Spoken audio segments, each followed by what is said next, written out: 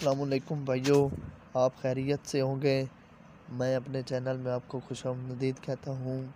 सबसे पहले आप लोगों से मेरी रिक्वेस्ट है कि मेरे चैनल को सब्सक्राइब लाजमी करें और साथ ही बेल आइकन के बटन को भी दबा दें ताकि नई वीडियो आने वाले सबसे पहले आपको मिले। तो शुरू करते हैं अपने टॉपिक की तरफ़, जाते हैं। आज मैं आपको बताता हूँ कि बू अली सीना बू अली सीना कौन थे?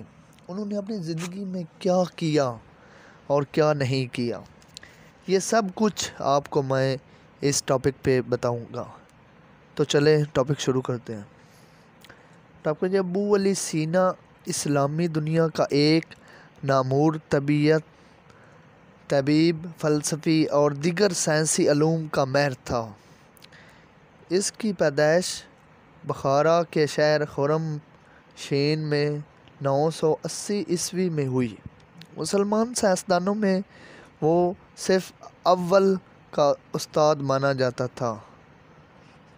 अपनी ही तलीम मुकम्मल करने के बाद वो सामानी दरबार के साथ काफ़ी अरसा मुंसलिक रहा। इल्म तेब में इसे उस्ताद अस्ताज़ा करार दिया जाता था। इसकी किताब कानून फ़िलतैब तिब के अवलिन शायकार की हैसियत से यूरोप की यूनिवर्सिटी में बतौर निसाब पढ़ाई जाती रही और अरसा दराज तक तबी इंसाइक्लोपीडिया की हैसियत से अपना लोहा मनवाया। तो उन्होंने इसमें, इस में तकरीबन सात सौ साठ दवाओं का ज़िक्र किया, जो मुख्तलिफ़ बीमारियों के ज़मन में इसने तजवीज़ की। इसके अलावा बू अली सीना ने इस किताब में अमलियात जराही का बड़ी तफसील से ज़िक्र किया। अलावा, अज अमरीज़ की तशखीस व तजवीज़ के ज़मन में भी ये किताब मालूम का एक गंजीना बेबहा है।